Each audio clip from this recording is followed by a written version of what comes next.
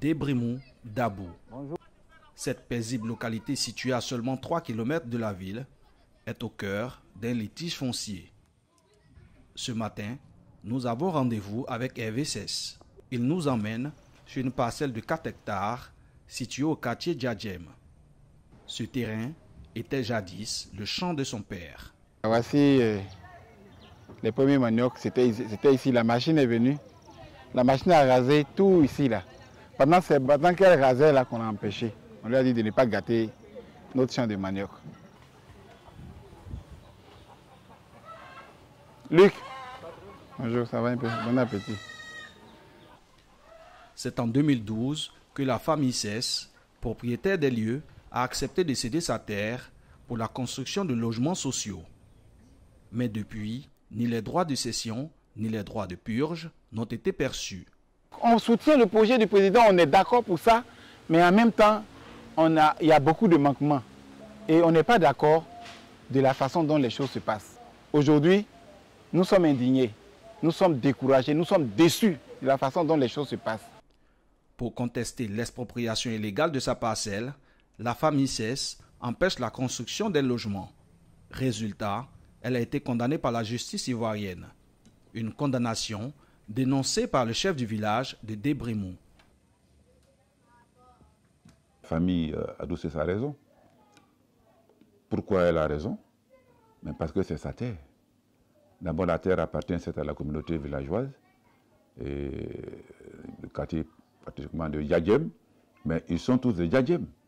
Et c'est eux qui ont le de leur parcelle. Je ne peux pas comprendre que les propriétaires qui ont leur parcelle euh, soient traînés au tribunal, euh, qu'on leur demande de payer 500 millions, qu'ils fassent 6 ans, 6 mois, 6 mois d'emprisonnement ferme, même s'il y en a en sursis, mais ce n'est pas normal. Un propriétaire terrien qui se voit euh, contraint d'abandonner sa terre en passant par euh, la justice au profit d'une société telle que les lauriers. Les lauriers, quand même, ce n'est pas, pas, une structure euh, d'aujourd'hui. L'autorité traditionnelle invite la justice à plus d'impartialité. Nous sommes tous des Ivoiriens. Que la justice fasse, dise le droit. Est-ce que c'est en disant, en disant le droit, euh, on peut se plaindre? On ne se plaindra pas. Mais si les gens se plaignent, c'est que ça ne va pas.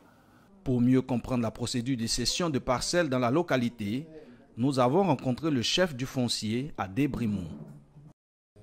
Si on se met d'accord, la famille propriétaire terrien, hein, qui vient céder sa place à euh, une tierce personne, ils s'entendent. Ce n'est pas chez la, la chefferie même qu'on paye. Ils payent tout, tout, tout, tout, tout, tout. Ils sont d'accord, se sont mis d'accord, se sont accordés. Et après, ils font le rapport au chef du village qui prend acte.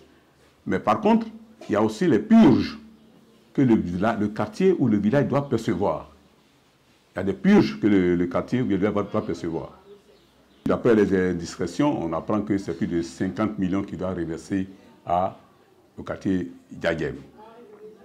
Et voilà que les enfants sont allés, ils se sont opposés, ils ont envoyé des machines pour aller détruire les EVA, les plantations.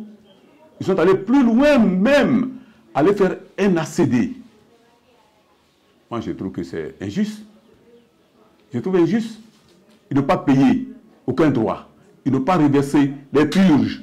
Et Laurier est allé faire les ACD. Une version récusée par l'entreprise immobilière Les Lauriers sur le banc des accusés. Elle assure avoir versé plus de 40 millions de francs CFA aux ayants droit d'une parcelle de 6 hectares. Et ce n'est pas la famille cesse. Laurier n'a rien à, se reprocher. Nous avons eu tous nos euh, documents, que ce soit l'ACD, euh, l'arrêté de construction, le permis de construire, tout dans le droit chemin. Euh, je pense qu'aujourd'hui, si Laurier est attaqué par la famille CES, je pense que elle doit d'abord essayer de régler le problème entre deux familles. Parce qu'on nous dit que c'est la famille CES qui est propriétaire, la famille Mélès, euh, Abou Mélès aussi qui dit qu'elle est propriétaire. Nous avons payé la purge des droits à hauteur de 40 millions à la famille Abou Mélès, sur les 50 millions que nous devons payer. Ce serait donc un problème entre deux ayants droit, la famille Cesse et la famille Abou Mélès. Pourtant, la discussion de la session faite à la mairie de Dabou en 2012 n'incluait aucune autre famille.